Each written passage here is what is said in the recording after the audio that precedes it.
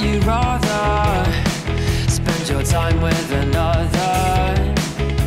The hearts of my brothers are on the floor. I bet you wish that you bothered when this band gets discovered.